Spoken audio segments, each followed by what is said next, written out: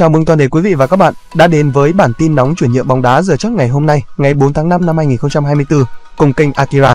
Barcelona coi Silva của Man City là mục tiêu ưu tiên. Pochettino thừa nhận tương lai của Chelsea không chắc chắn. Liverpool cạnh tranh PSG vì Osimhen. Hãy cùng cập nhật bản tin nóng chuyển nhượng bóng đá giờ chót ngày hôm nay cùng kênh Akira thưa quý vị. Barca muốn có Partey. Thomas Partey. Barca cân nhắc chiêu mộ những cầu thủ giá rẻ vào hè này. Theo ký giả Adrian Sanchez, Blaugrana muốn giành chữ ký của Thomas Partey. Hợp đồng hiện tại giữa tiền vệ người Ghana và Arsenal sẽ đáo hạn vào năm 2025, nên câu lạc bộ xứ Catalan có thể hoàn tất thương vụ với giá rẻ. Vấn đề của Partey nằm ở tần suất chấn thương. Anh chỉ có 13 trận chơi cho Arsenal vào mùa này.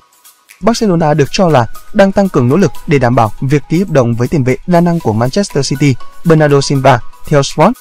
Man City vẫn sẵn sàng đàm phán về sự ra đi của Silva với mức phí khoảng 50 triệu bạc.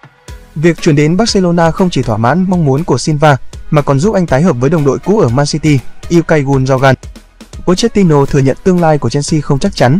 Bất chấp chiến thắng thuyết phục 2 không trước Tottenham Hotspur, huấn luyện viên Pochettino của Chelsea vẫn khẳng định rằng tương lai của ông với câu lạc bộ là không chắc chắn. Thật khó để chứng kiến mỗi tuần tôi đều bị giám sát và phán xét. Việc có mặt ở đây hay không ở đây mùa giải tới không phải là quyết định của tôi. Bayern nhắm mục tiêu tay Tuchel. Thomas Tuchel sẽ chia tay Bayern Munich vào hè này hàng loạt cái tên được Bayern chú ý đều đã từ chối đại diện Bavaria. Do đó, đai do tới lúc này chuyển hướng sang Jabi của Brighton về phía Jabi, nhà cầm quân 44 tuổi cũng hứng thú với viễn cảnh đến Bayern nhằm phát triển sự nghiệp. Để hoàn tất thương vụ, Bayern cần chi số tiền giải phóng hợp đồng 13 triệu euro. Cách đây hơn 2 tháng, huấn luyện viên Thomas Tuchel tuyên bố sẽ rời Bayern Munich vào cuối mùa. Ở thời điểm đó, nhà cầm quân người Đức chịu nhiều áp lực từ truyền thông vì những kết quả không tốt của đội nhà.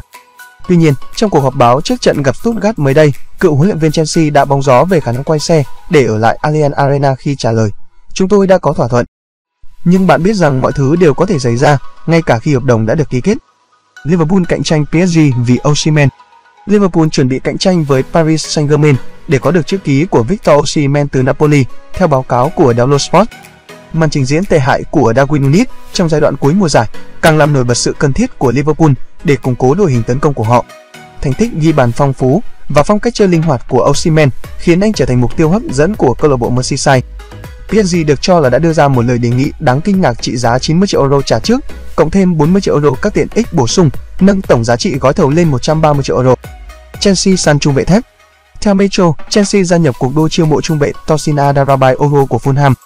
Ngôi sao 26 tuổi góp công lớn trên hành trình Fulham vô địch Championship 2022.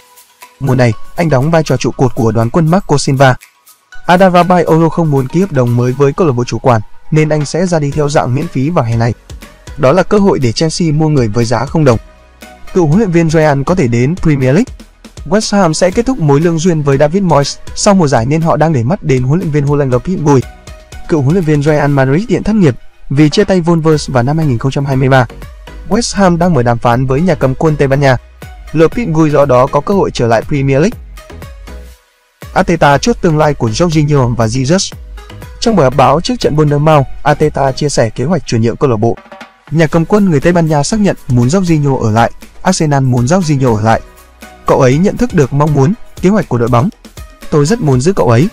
Jack Gio biết điều đó. Câu lạc bộ hoàn toàn ủng hộ điều đó nên chúng tôi hy vọng sẽ tiếp tục song hành cùng cậu ấy. Ateta còn xác nhận hy vọng Gabriel Jesus sẽ tiếp tục gắn bó với đội. Đang có tin đồn Jesus sẽ ra đi vì mất suất đá chính tại Arsenal. Vâng và trước khi tiếp tục video thì các quý vị đang xem video thấy hay thì like, comment và đăng ký ủng hộ kênh với nhé. Một lần nữa xin chân thành cảm ơn quý vị rất nhiều. Ten Hag định đoạt tương lai. Ở buổi họp báo trước trận gặp Crystal Palace, Eric Ten Hag tự tin chia sẻ, ông vẫn là huấn luyện viên Manchester United vào mùa tới. Tôi nghĩ rằng tôi sẽ tiếp tục là huấn luyện viên Man U vào năm tới. Tôi đã ký một hợp đồng dài hạn và tôi không phải là người hay bỏ cuộc. Không có cuộc đàm phán nào với Ajax vào lúc này. Nhưng trong tương lai, tại sao không? Đó là một câu lạc bộ hấp dẫn, tôi đã có khoảng thời gian tuyệt vời ở đó. Ten Hag thừa nhận muốn mua De Jong. Man United đã theo đuổi De Jong trong cả hai kỳ chuyển nhượng gần nhất và đã đạt thỏa thuận về mức giá với Barcelona. Tuy nhiên, De Jong không muốn ra đi và đã quyết định ở lại đội chủ sân Camp Nou. Khi nhận thấy thương vụ đi vào ngõ cụt, đội chủ sân Old Trafford đem tiền đến gõ cửa Real Madrid và nhanh chóng có cái gật đầu của Casemiro. Tuy nhiên, huấn luyện viên Eric Ten Hag hỏi vẫn rất kết trò cũ và thừa nhận muốn chiêu mộ cả Đờ Jong về đá cặp với Casemiro. Đúng vậy, De Jong và Casemiro có thể bổ trợ cho nhau. Để có thể chơi theo phong cách Ajax, bạn cần mẫu cầu thủ như vậy, thuyền trưởng MU khẳng định. Theo thông tin từ Sport, Cơ hội dành cho huấn luyện viên Ten Hag sẽ được mở ra vào mùa hè này khi Barca đưa đờ rong lên thị trường chuyển nhượng. Huấn luyện viên Xavi được cho là muốn đem về một tiền vệ phòng ngự cũng như tiếp tục theo đuổi Bernardo Silva. Xếp mới ngắn ngầm với MU. Chủ sở hữu mới của Manchester United vừa yêu cầu nhân viên của câu lạc bộ tân trang lại một số khu vực quan trọng, bao gồm ở cả trung tâm huấn luyện và sân Old Trafford. Đại gia người Anh rất khó chịu với cơ sở hạ tầng hiện tại của đội bóng sau chuyến khảo sát cơ sở vật chất kéo dài 2 ngày. Theo The Mirror, Servim đã gửi email cho toàn bộ nhân viên MU với nội dung như sau: Tôi đã có một chuyến khảo sát thú vị xung quanh cơ sở vật chất của câu lạc bộ. Tôi e rằng bản thân đã bị ảnh hưởng bởi tình trạng lộn xộn ở mức độ cao, đặc biệt phải kể đến bộ phận ít, nói thẳng ra là đáng hổ thẹn. Phòng thay đồ của đội U18, U21 cũng chẳng khá hơn là bao. Những tiêu chuẩn này sẽ không giống với những gì chúng tôi mong đợi, dù đó là một công ty hóa chất. Manchester United là một tổ chức thể thao ưu tú. Về nhiều mặt, đó là một vấn đề nhỏ nhưng nếu câu lạc bộ không đạt tiêu chuẩn và kỷ luật thì sẽ chẳng thể thành công.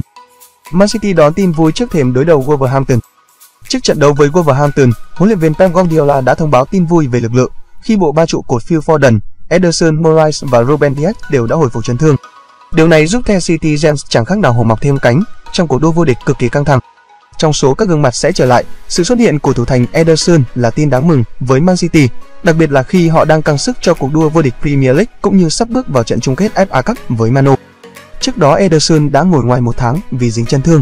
Bắt chính thay anh trước khung gỗ man xanh là thủ môn Steven Ortega. Nacho sẽ sang Mỹ. Tờ Marca cho biết, hậu vệ kỳ cựu Nacho sẽ rời Real Madrid sau mùa giải này và sang Mỹ thi đấu tại giải MLS. Nacho mùa trước đã được Inter Milan mời chào nhưng quyết định ở lại Real Madrid. Dù vậy, anh đã xác định mình sẽ tìm bến đỗ mới sau mùa 2023. Orlando City của MLS đang được xem là câu lạc bộ muốn có Nacho nhất. MU chốt giá bán đứt Rashford. Theo nhà báo David Onstein của The Athletic, ưu tiên của Man United là giữ Marcus Rashford và giúp cầu thủ trở lại phong độ đỉnh cao. Dù vậy, Manu sẽ xem xét việc bán Watford một khi nhận được lời đề nghị đáng kể. Cụ thể, họ sẽ xem xét mọi lời đề nghị trên 70 triệu bảng cho cầu thủ này con số đủ biến Watford thành thương vụ bán cầu thủ tự đào tạo đắt kỷ lục trong lịch sử câu lạc bộ. Thiago Silva chốt hợp đồng với Luminense. Fabrizio Romano cho biết trung vệ Thiago Silva sẽ trở lại Brazil thi đấu sau mùa giải này khi đạt được thỏa thuận gia nhập vào Luminense. Hợp đồng của Silva sẽ có thời hạn tới năm 2026. Silva xuất thân tại đội trẻ của Luminense và thi đấu cho đội 1 của câu lạc bộ từ 2006 đến 2009 sau khi anh suýt định giải nghệ vì bị bệnh lao. Silva đã vô địch Copa do Brazil cùng Fluminense năm 2007 và trong cùng năm anh được trao giải thưởng cầu thủ hay nhất của giải vô địch quốc gia Brazil. Zebi xác nhận muốn ở lại Brighton.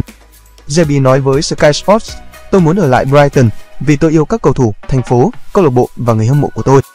Tôi đã nói với người hâm mộ trong một cuộc họp rằng nếu tôi hạnh phúc, tôi sẽ không thay đổi câu lạc bộ này. Tôi muốn giữ niềm đam mê của mình. Thưa quý vị và các bạn, chi tiết vừa rồi cũng đã khép lại tin nóng chuyển nhượng bóng đá hôm nay của chúng tôi. Cảm ơn toàn thể quý vị và các bạn đã quan tâm theo dõi.